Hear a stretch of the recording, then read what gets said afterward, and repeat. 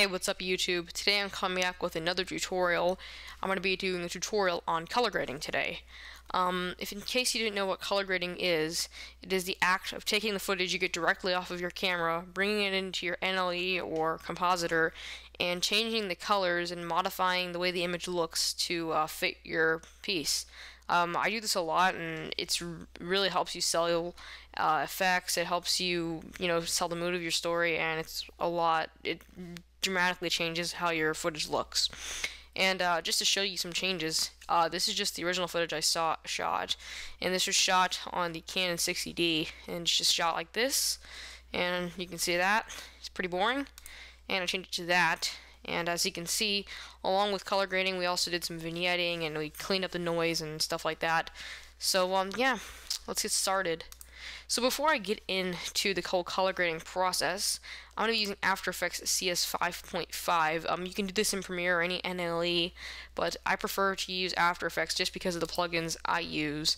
Um, it's a lot better, just for me. So yeah, so the first thing before you start color grading is you want to make sure you shoot your footage right.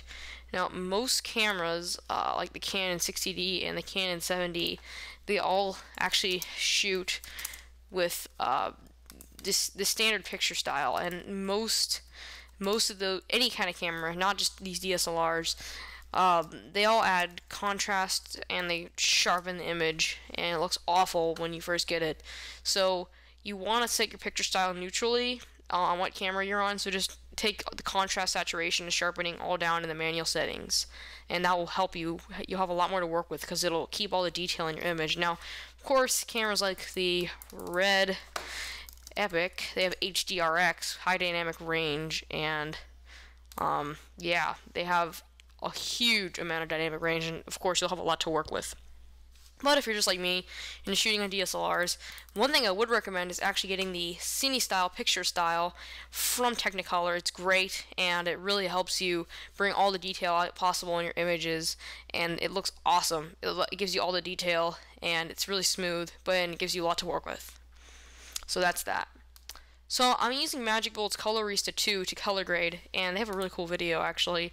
They always have really cool promotional videos, and uh, yeah, I really like them. But yeah, it's a really good color grading uh, plugin for After Effects, and uh, it's $299. So they have a free version, which is pretty good. But of course, this has a ton of stuff and stuff that I haven't really used yet. Like, I haven't used these. Uh, like, you can basically.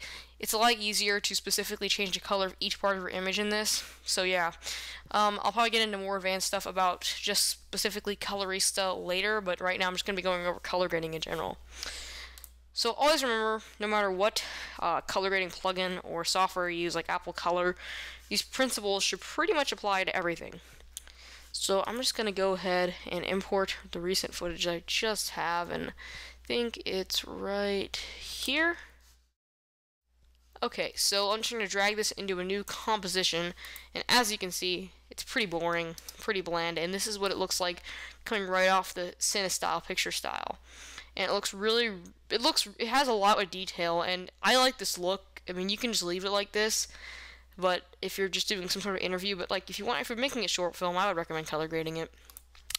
So let's go ahead and first of all, you can see that there's a lot of noise. And I shot this at 6400 ISO, I believe, and there's still going to be some noise just because DSLRs inherently have a lot of video noise but not as much as most consumer camcorders and even some professional camcorders like the Sony EX1, but they still have some noise. And to color grade, you want the best image possible. So right now, I'm gonna apply Magic Bullets Deno or sorry, Red Giant's Denoiser 2 to my footage, and that should effectively get rid of most of the noise. So let's just play around with the settings. And this is definitely not something you have to do, but I just do it because it gives me a lot more to work with and makes the image look a lot smoother.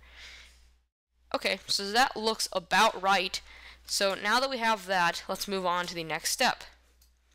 So, uh, as you can see, it's uh, looking good. So, next step is to apply Colorista 2 to the footage, and I have free as well, but I'm going to use 2 for the purposes of this video. So, as you can see, it doesn't do anything yet, because you actually have to physically change how you want the video to look. Now, filmically, just to get this to get the best possible image, what I would do, and this is the kind of a good process, is I would raise the detail in the shadows because that'll sort of mimic how much uh, how professional cameras shoot. So kind of raise the details in the shadows, and what I mean by that is like the darkest areas of the video, more detail will be there. And since we use the CineStyle picture setting, hopefully, or uh, your equivalent, you'll be able to bring out detail. So now the shadows have a lot of detail in them, and now what I'm going to do is bring down the midtones basically to adjust contrasts because contrasty images look good but not overly contrasty. And then I'll just kind of adjust the way how blown out it is with the highlights. Eh, okay, that looks about right. So now if I just turn this effect on and off, we can see we've actually done not a lot, but it kind of helps. So now we're just going to go ahead and I'm going to bring down the midtones just a bit. Just a bit. Eh, not sure. Okay, just bring up the highlights so that way we can still see. Eh, shadows. Alright, that looks good. So now what I'm going to do is bring down the saturation because really oversaturated images in my opinion don't look very good and you know of course none of this is set in stone you can always apply whatever you want to your own video so that way you can get the look you're going for but you know a lot of stylized action movies and any really a lot of movies nowadays unless you're doing like a comedy they all have undersaturated images and I like the look so I'm not you don't want to go too extreme because you're gonna end up going a black and white image but or you don't want to go like this because then your person is gonna look like they're on the Jersey Shore so too extreme or too much is not good. So I think around two negative eight looks about right, just because it kind of gives the impression that the it's pretty flat in the room and he doesn't look too extreme. So now what I'm going to do is just because I'm not going to get into this primary HSL stuff and secondary master because a lot of people don't have the same uh, options, but almost every single color grading software on the planet has shadows, mids, and highs.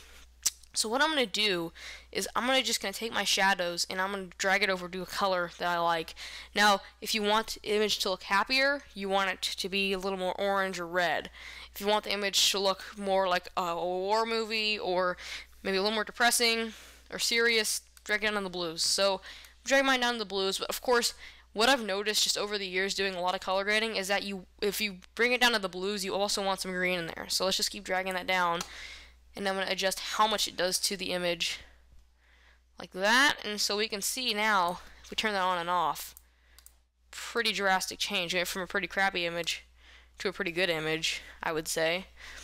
And so now we have that. And I like that look. Um, you can, of course, kind of play with it. I want the highlights to be I want my highlights. I like the way they're kind of orange because there's a lot of contrast from this back area over here. It's kind of green, and then in the highlights it's orange. I like that, but you know, I can you I if you want to match your footage, let's just do the same thing. And as you can see, getting blue. Yeah. Okay. And I'll just kind of bring that up. Alright, so now it looks pretty good.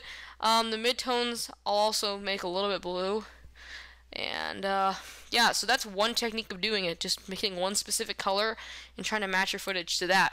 Now, one thing that I don't ever really do because I find these results are too extreme, but sometimes if you want a really stylized look, you can do this, is to take, like, say, I'm, I'm going to undo this in a minute, but just take your shadows and bring it all the way up here, like that. Not like that, but like that, and then drag your highlights or midtones all the way down here, and then you get like a really cool looking thing. So let's just undo that and that. Okay, now we're back to our original video. Okay, so now what we have is a pretty good looking image, but there's a couple things that are missing that I actually had in the final image. Uh, so yeah. So vignetting is something that photographers sometimes want to avoid like when they use certain lenses like oh well the vignetting is on it is horrible and there's too much vignetting but uh, a lot of people actually add it very subtly and if you use it right it can be very stylistic and look really cool so yeah, that's what I usually do. In fact, almost all of my videos have a slight vignette on them. So I'm just going to go ahead and I'm going to apply a new adjustment layer. And I'm going to take this, uh, you can use Magic Bullet Misfire because it comes with a pretty good vignette, but sometimes I think it looks kind of weird, like a little too extreme. And I'm just going to turn the intensity down, and so that looks pretty good. But you get these little rings on the outside, I really don't like that at all. It kind of ruins the image for me. So instead of using that plugin, you can you can just go ahead and make a new black solid in After Effects, and then just draw, take your circular shape tool or ellipse tool and just drag it, and then go down to your mask and then subtract it so that'll invert it essentially. Go to the feathering and change it all the way up to a thousand, yeah, a thousand, and then turn the opacity down to about 35 and you have a pretty nice looking vignette. And uh, really cool kind of pulls focus to the center of the actor and then pulls away from the edges. Of course either one's fine or if you don't if you're working in an NLE and you happen to have any version of Photoshop you can just go into Photoshop and make a um, black solid. Of course I'm not going to do this now but like I said layer new make a new solid. Surely simple and uh, you can bring that in. Now sometimes you can just change the color of the uh, solid to make different colored vignettes. Like here, uh, sorry. Okay, so here I'm just gonna turn this one off and then make a new solid. And I'll make this one. Oh, hmm. yeah, that looks about right. Eh, make darker. Okay, I'll do this same thing.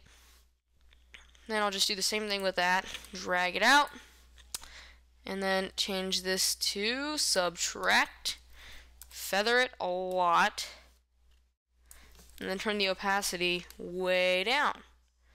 And now you can see we've got a blue vignette and that'll add different effect. And you know feel free to play around with that. So that's good but I'm just gonna keep my black vignette. I don't want this one.